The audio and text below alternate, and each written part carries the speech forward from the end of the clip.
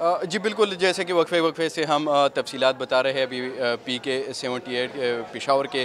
ابھی میں موجود ہوں عوامی نیشنل پارٹی کے جو کیمپ ہے، خواتین کیمپ ہے۔ ان سے ہم بات کریں گے کیونکہ پی کے سیونٹی ایٹ میں خواتین کی جو ہے وہ تناسب ہے وہ کافی زیادہ کم ہے۔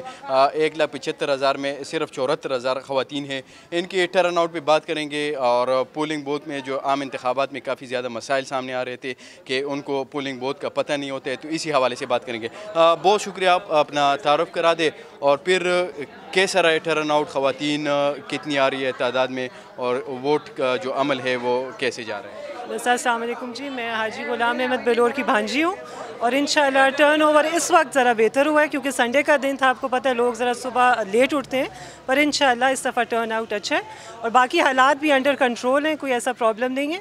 اور بس میں تو پشاور کے لوگوں کو یہی ریکویسٹ کروں گی کہ یہ شہید ہارون بلور کی سیٹ ہے، اس کا خون رائے گا نہ جانے دیں آپ لوگ۔ یہ اس کا قرض ہے پشاور کے لوگوں پر۔ جو انہوں نے اپنا حق ادا کرنا ہے انشاءاللہ۔ ٹھیک کس طرح مطلب پولنگ بوتھ جو ہے وہ ان کو اویئر ہے، کافی وہ ووٹ کاسٹ کر رہی ہے۔ بالکل، انشاءاللہ پولنگ بوتھس والے اویئر ہیں ایجنٹس ہمارے اچھے ہیں پولیس آرمی بھی کوپریٹ اس وقت کر رہی ہے سو ایسا ایسا ہمیں کوئی پرابلمز نہیں فیس کرنے پڑ رہے، انشاءاللہ۔ جی بالکل جیسا کہ ان کا کہنا تھا کہ جو پولنگ ووٹ ووٹ جو ہے، ان کو پہلے سے آگاہ کیا گیا ہے اور یہ کیمپ جو ہے، آگاہی کیمپ لگائے گئے ہیں، جس میں خواتین کے وہ ووٹ کاسٹ کرنے کا جو ہے عمل بتایا جاتا ہے اور ان کو پولنگ بوتھ باقاعدہ اس میں لے جاتے ہیں۔ جی۔